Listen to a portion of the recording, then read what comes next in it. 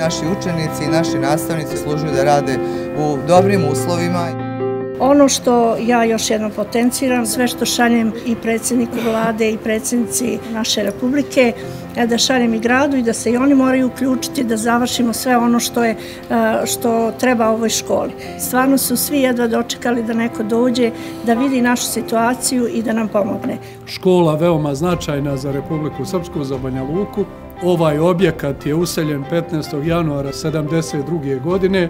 Škola nije imala neke značajne investicije i došlo je vrijeme da sad zaista treba da napravimo značajne investicione radnje kako bi škola nastavila da egzistira. Za prvu ruku to će biti ovo što je delegirano, dakle stolarija koja je već u toku, određene instalacije i sve što smo danas pominjali. A što se tiče krova, rekli smo, dogovorili smo se i za neke druge intervencije koje će biti neophodne da ćemo to raditi etapno. Dakle, radimo to zato što i naši učenici i naši nastavnici, odnosno profesori, zaslužuju da rade u dobrim uslovima i vlada Republike Srpske je čitav niz godina intervenisala i svim našim opštinama. Školski objekti budu dovoljno dobri za odvijanje nastave, prema tome na isti način se odnosimo prema Banjaločkoj gimnaziji. Mi ćemo već na sljedećoj sjednici vlade pripremiti plan investicija za škole u Republice Srpskoj, između ostalog bit će uključena i Banja Lučka gimnazija, tako da ćemo i to pitanje riješiti u dogovoru i sa kabinetom predsjednice Republike, jer je i predsjednica Republike iskazala spremnost da učestvuje u ovom dijelu troškova. Čim naša djeca završe sa nastavom,